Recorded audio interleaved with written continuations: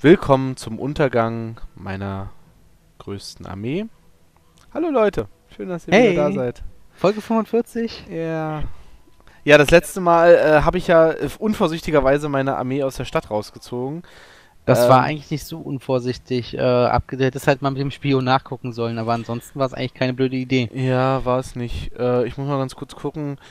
Wahrscheinlich ist das jetzt nämlich auch wieder der General, der da ist, ist wahrscheinlich super wichtig für mein Reich und so, ne? Also, äh, könnte ich mir vorstellen.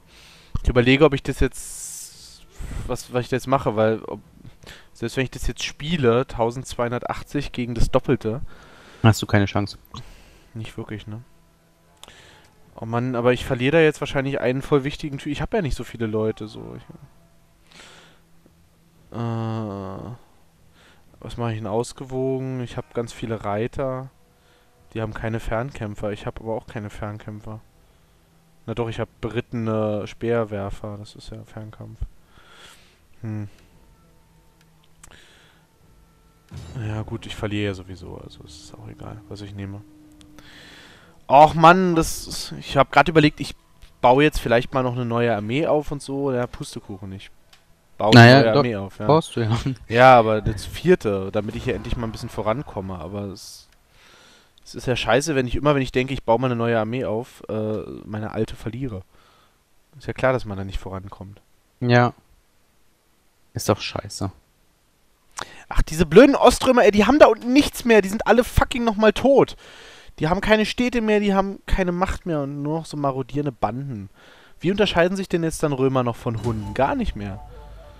Ah, toll, Ägypten erhebt sich gegen mich, natürlich. Unser tapferer Kommandant ist gefallen, Berenice wurde ausgeraubt. So, wer war der tapfere Kommandant? Ja klar, war äh, einer meiner drei Männer, die in meiner Familie noch leben. Jetzt habe ich noch zwei. Nun ja. Gut. Gut zu wissen. War ja nur äh, ein wichtiger Typ. Naja, so. Schön. Ja, das tut mir leid. Ja, naja, kann man nichts machen. So, Berenice können sie sich dann auch zurückholen. Sollen sie doch machen, die blöden Wichser. Ähm. So, was machen wir denn dann als nächstes? Also, wir wollten da oben irgendwie die Stadt angreifen, aber ich werde jetzt erstmal hier versuchen, den Agenten zu manipulieren. Das ist aber ein Stufe 10 Hm. Agent, da werde ich mit meinem Stufe 1 Agenten sicherlich keinen Erfolg haben. Unser Agent hat seine Mission mit großer Sorgfalt und Treue erfüllt. What the fuck? Okay. Wenn Dass er da nicht im Level getötet? Nee, äh, getäuscht. Achso. Aber immerhin. Also, Ja? wow. Äh, nicht schlecht. Okay. Cool. Ähm, ermöglicht infiltrieren, Armee fehlleiten, das ist, glaube ich, recht wichtig. So, ist gleich Level 2 dann der Agent, also das ist ja nichts Schlechtes. Okay, so, dann probieren wir jetzt mal gleich noch eine Armee zu verlieren hier. Und greifen mal die Stadt an. Das kann ich. Ich kann die Stadt nicht angreifen. Das Schiff kann sich nicht dorthin bewegen. Was? Das Schiff kann sich nicht dorthin bewegen, sagt er mir. Also wenn ich auf die Stadt klicke. Weiß ich nicht. Ist halt so. Ist halt ein Fakt, den ich dir nenne. Ich weiß es nicht, was da los ist. Hat das eine Stellung? Stellung Wache, ach so. Warum? Warum macht er das immer? Okay. Blockade will ich nicht. Automatischer Angriff. Aggressiv. Machen wir sie kaputt. Und tot. Ja. Schön. Äh, besetzen. Yay! So, besetzen, reparieren. Hier oben die Stadt können wir die nicht... Achso, ihr müsst zuerst äh, reparieren. Na gut. Ja, das ist ja immer so. Erst reparieren, dann abreißen. So, dann, wo baue ich eine neue Armee auf? Sinnvollerweise in In Alexandria. Alexandria? Na, ich weiß nicht, ob ich da Oder in Aquabar. Das Problem ist halt, dass ich ja nicht überall vernünftige Gebäude habe dafür. Ja, und dann brauchst, machst du noch ein Aquabar. Ich weiß nicht mehr genau, wo ich welche Militärgebäude hatte. Warte mal, hier habe ich eine Kamelfarm, das bringt nichts. Was ist hier? Heerbannenzentrum. Das bringt zumindest ein paar Leute verschiedener Art. Was habe ich hier? Ähm, ich habe nirgendwo so richtig geile Militärgebäude. Da muss ich auf jeden Fall mal ein bisschen aufrüsten in nächster Zeit. Milizlager. Na gut, dann mache ich das mal in äh, in der Provinz hier mit Akaba. Dann bauen wir da mal. Habe ich da genug Nahrung? Ja, gerade so. So, na gut, dann stelle ich da mal eine neue Armee auf. Streitmacht. Oder habe ich in Alexandria doch irgendwas? Äh, Alexandria hat.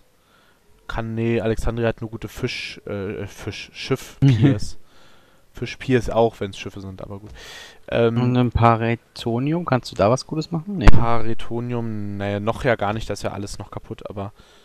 Äh, stehen da irgendwelche Gebäude? Nee, da stehen Felder und Schafsherden. Das ist ein reines Dingens, ähm, Land Landwirtschaftsteil. Na gut, ja. dann Ackerbar it is, Streitkraft aufstellen. So, furchtloser Krieger, das klingt ja auf jeden Fall schon mal ganz gut. Felsenfester Verteidiger. Moral. Such den Jungen, den du gleich übernehmen kannst. Ja, den 22-Jährigen nehme ich. Armee aufstellen, Vermächtnis wieder einsetzen. Level 3 Vermächtnis wieder einsetzen. Machen wir. Rekrutieren. So, und dann kriegt er Einheiten dazu. Und zwar kriegt er erstmal die fettesten Pferde, die sich eine Armee leisten kann. Vier Stück. Ja, immerhin. Ist dann schon mal wieder eine Fünfer-Armee mhm. in einer Runde. Ist ja auch schon mal was. Ähm, gut. Ressourcenproduktion, Verarmung sollte doch jetzt nicht mehr so schlecht sein. Ah, jetzt kann ich hier wieder ausbauen. So. Gut. Dann behalte ich mal ein bisschen Geld übrig. Meine Schiffs... Ich wollte gerade sagen, meine Schiffsarmee, das heißt dann Flotte, Dennis. Schlau. Schlau, schlau. Äh, die können wir hier noch ein bisschen aufleveln. Die hat natürlich jetzt durch die Eroberung ein bisschen was gewonnen.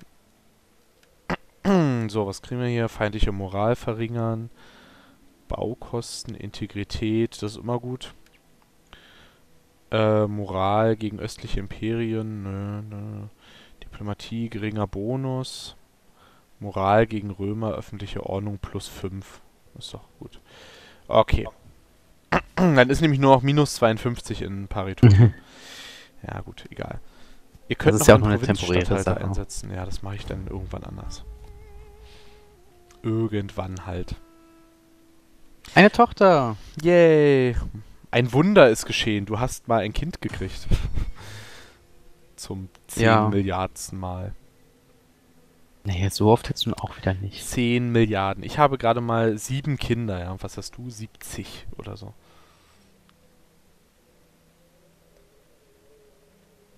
Ja, ich gebe zu, ich habe schon ein, zwei mehr als du.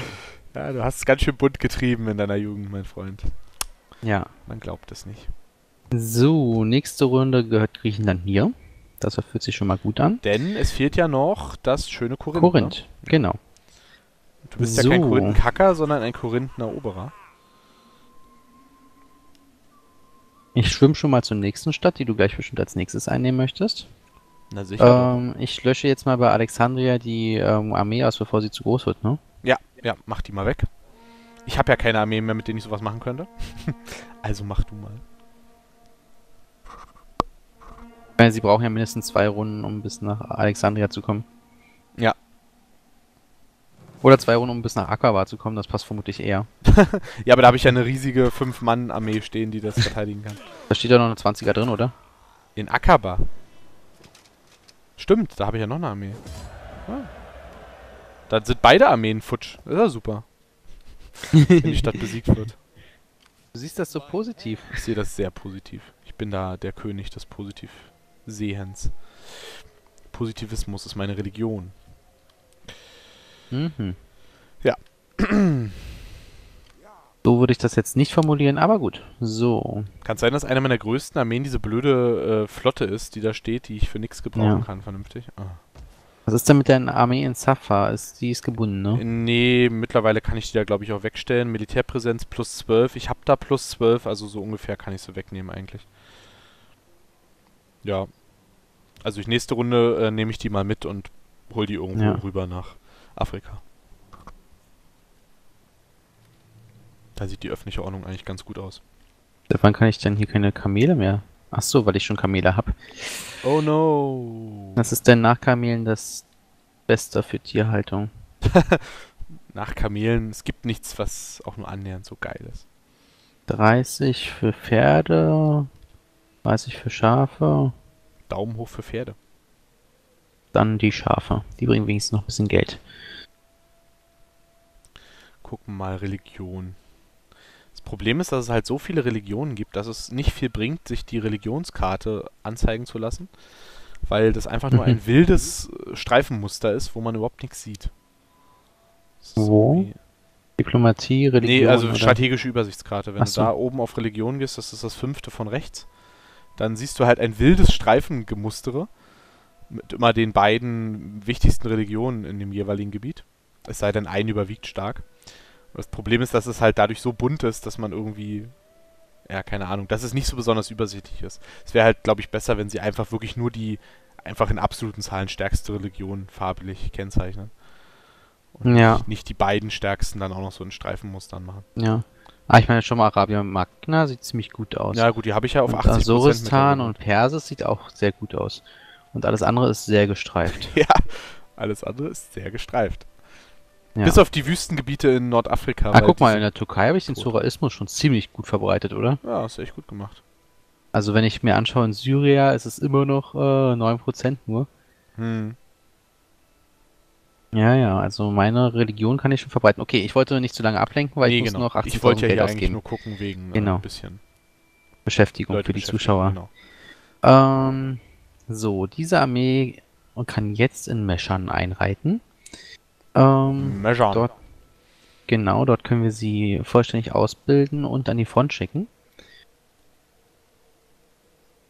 So, was kriegen wir denn?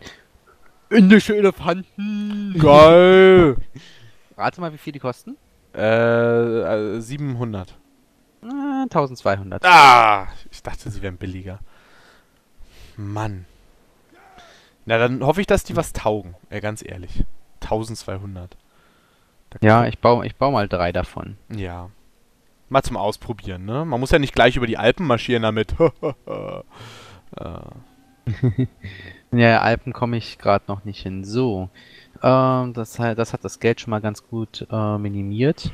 Jetzt schauen wir mal, welche Provinzen sind denn hier noch schlecht dran. Makedonien sieht schlecht aus. Äh, das ist mir bewusst.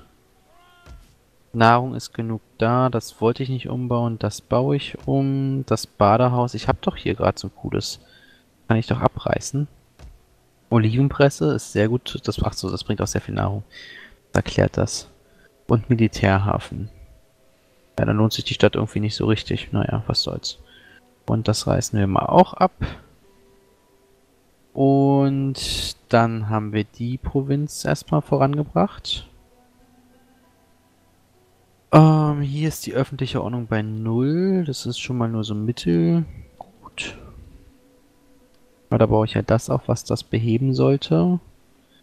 Ähm, und irgendwo, da haben wir noch was, wo ich auch was machen wollte. Genau, da ist die Nahrung bei minus 2. Auch daran arbeite ich. Und wenn die Nahrung wieder in Ordnung ist, dann kann ich ja hier auch schon mal das hier weiter ausbauen. Mehr Verarmung. Ach so, nee, das durfte ich nicht. Ach, verdammt. Hatte ich nicht irgendwo mal öffentliche Bäder oder sowas gehabt? Ärgerlich. Hab ich nicht. ich muss mal ein militärisches Bündnis übrigens mit äh, der Äthiopien-Region hier machen, in Süd, im südlichen Bereich der Karte, mit Axum, Mhm. äh, weil wir das brauchen, um zu gewinnen. Ne? Das ist eins unserer Ziele, die Region Ah, zu haben. okay. Also entweder erobern oder Militärbündnis. Also muss ich mich mal diplomatisch ein bisschen hervortun da unten. Ja. Aber das machst du grad so auf. sicherlich. Ja, na so über die nächste Zeit. Ja. Jetzt mach mal, mach mal Runde zu Ende, weil dann äh, ist 420. Ja, ich bin ja dabei, ganz, ganz ruhig. Wobei ich weiß gar nicht, ob es bei, wenn es auf 420 springt schon ist oder wenn wir das Jahr 420 durchhaben. Weiß ich, weiß ich auch so genau. nicht. Wir werden Bin, jetzt, gleich bin, jetzt bin ich gehetzt. erfahren. Schnell. Mein Bier ist auch Hm. bald alle. du hast bald keine Zeit mehr. Ja, ich beeil mich ja schon. Oh Gott. Ähm, was baue ich denn hier? Plaza, schneller. Schnell. Bibliothek, bauen. Polofeld, Palast. Palast. Ach so, wollte ich das, kann ich das überhaupt leisten von der Nahrung her? Ja, und von der öffentlichen Ordnung? Na, ich wollte da eigentlich nichts mehr machen, weil die Stadt bald platt ist. Äh, 13.000 Geld noch. Das muss ich noch kurz ausgeben und dann sind wir soweit. Schnell weg damit. Schmeiß es raus. Äh, Bäder brauche ich nicht.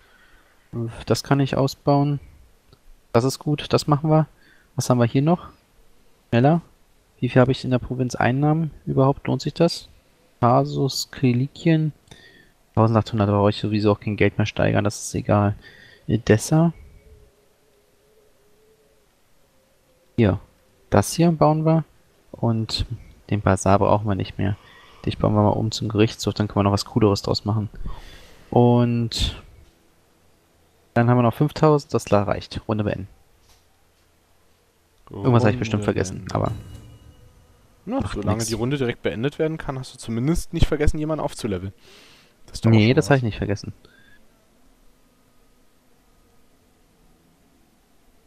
Hunden? Was machen denn die Hunden so lange? Ich habe Angst. Na gut, die machen schon. Oh, die Oströmer greifen meine Stadt an. Wie? Und auf einmal stehen da 600 Mann in der Stadt? Ich fasse es ja nicht. Wo war denn die Garnison, als ich sie gebraucht habe? Verdammten Wichser. Die Chancen mit den 600 Mann gegen die 2200 sind genauso gut, wie als meine Armee noch da war.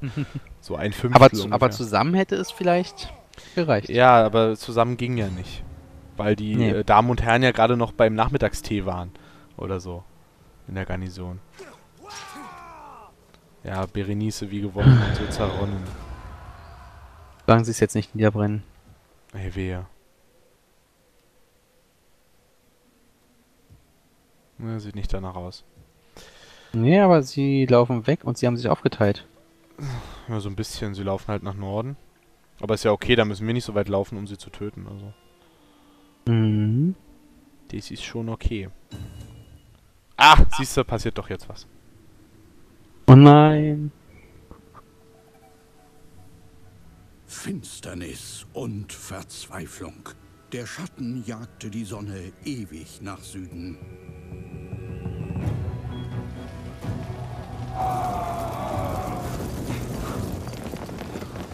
Und siehe, ein fahles Ross. Und der darauf saß, hieß Tod. Und die Hölle folgte ihm nach. Die Synchro ist echt nicht so geil, ne? Nee, das ist ganz schön albern.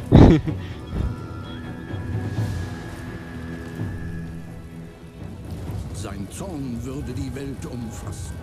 Und er ergötzte sich an ihrem Lodern. Die Horde blickte auf Attila und die Welt erbebte. Vergesst alle Hoffnung. Die, die ihr eintretet, lasst alle Hoffnung fahren. Schön. Siedlung Ja. ausgeraubt. Attila, er liebte den Krieg, zügelt seine Taten dennoch, erteilte guten Rat, zeigte sich Bittstellern gnädig und war gütig zu jenen, die seinem Schutz unterstanden. Nach dem Tod des vorigen Kriegsherrn riss Attila die Macht an sich. Nun führt er die Horden an und deren Armeen wachsen. Sagt das Spiel uns. Aber das bedeutet ja jetzt noch nicht, dass hier sofort 30.000 Hundenhorden bei uns im Land stehen. Erstmal heißt es ja nur, Attila ist jetzt offiziell der Hundenkönig. Das ist, Ja. äh, da hat er ja immer noch zu tun, die Leute nach Westen zu schaffen. Ja, die Ähm, Frage ist halt, wo er startet, ne? Das weiß ich nicht. Das kann ich dir auch nicht sagen. Äh, der lange Winter naht. Genau, der Vormarsch von Attila ist ja historisch begleitet gewesen von einem mehrere Jahre andauernden schlechten, also einer, einer kleinen Kaltzeit, einer kleinen Eiszeit. Mhm.